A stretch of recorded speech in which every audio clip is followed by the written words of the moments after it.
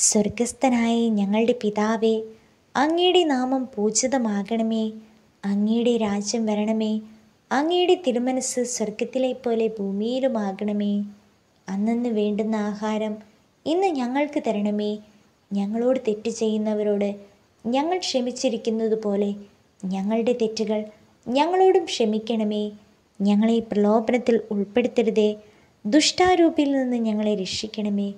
എന്തുകൊണ്ടെന്നാൽ രാജ്യവും ശക്തിയും മഹത്വവും എന്നേക്കും അങ്ങയുടേതാകുന്നു. ആമേൻ.